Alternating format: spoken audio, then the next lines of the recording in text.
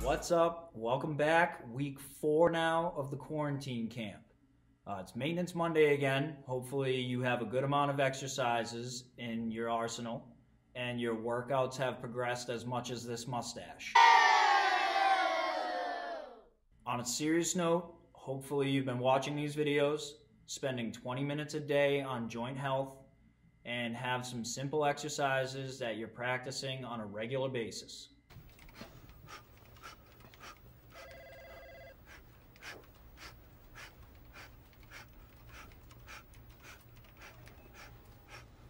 Today, I'm going to rant a little bit about another complex part of the human body, but I'll do my best to simplify things. That way, you can learn a little something about anatomy and think outside the box when it comes to exercise and being healthy. You should get one of these. No, thank you. Do you even know what this is? It is a fitness orb, and it has completely changed my life. Forget everything you thought you knew about ab workouts. That's right, today's rant is going to be on the core. But I also want to teach you a little bit about the spine because the two go hand in hand. So let's discuss the spine first.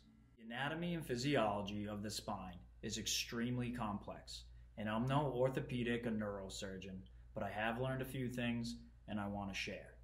You have tons of nerves that travel from the brain down the spinal cord and branch off to everything in your body to deliver and receive fast messages. Lack of dedication to keeping proper alignment of the skeleton and having good mobility can compress on these nerves, disrupt the messages, and cause a wide range of problems.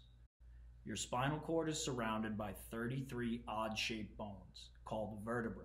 Between each vertebrae is a vertebral disc, which acts as the shock absorber to deal with all the forces felt by the spine. The vertebrae are broken into five segments, and each has its own natural curvature. Their role is protection of the spinal cord and to keep the trunk upright. There's a lot more that can be discussed with spinal anatomy, but remember, keep it simple. At the top, you have your cervical or C spine, seven vertebrae that starts around the base of your skull to about the top of your shoulders, also known as your neck. Moving down, you have your thoracic or T spine 12 vertebrae that creates the majority of the trunk. Mobility in this area may help with shoulder and neck pain. Lower, you have your lumbar spine, five vertebrae that's commonly known as your low back. The complexity and overlap of the lumbar spine with the hips can lead to muscle imbalances, compression of large nerves like the sciatic nerve, and a sensation of pain. Next is the sacrum, which I've talked about before five fused vertebrae that meet up with the iliac bones of the pelvis to connect the spine to the hips at the SI joint. This area plays a major role in stability and is easily affected by heavy forces from high impact exercises. Lastly, you have your coccyx bone or your tailbone. The tailbone is small and fused together as well. It's four vertebrae. The small, odd shape to the tailbone makes it highly susceptible to trauma and can also shift with the SI joint, causing pain. Even though it's complex, the spine needs to move, just like every other joint, and it should not be neglected. However, in order to use your spine properly and safely, you have to learn how to use your core properly. I want to share something with you that's changed my life. The core is not just sit ups or crunches. And if you haven't read anything by Mike Boyle, I highly recommend taking the time to do so. In one of his books, he builds off of research to show this interesting approach to how the core works. And I personally follow these theories, and it's worked for me and my fitness. To paraphrase and simplify it in my own understanding, here's 10 core muscles to think about. First, your rectus abdominis the ripping six pack that everybody wants. But this is only one layer of the core. It helps us with sit ups and crunches, but it also helps you draw in. Next is the diaphragm. I spoke briefly about the diaphragm in one of my midweek messages. This muscle is extremely important because it helps us breathe. The next muscle is the transverse abdominis, or the TA. and it might be one of the most important core muscles we have because it can generate almost 360 degrees of tension to help stabilize the hips on the spine when we're performing high impact exercises. Two other muscles to think about are your internal and external obliques. These muscles help us rotate, but they also work in conjunction with the TA and the diaphragm when they're properly activated to brace and stabilize the spine even further. Moving deeper into the core, you have two important muscles to discuss your psoas major and your psoas minor.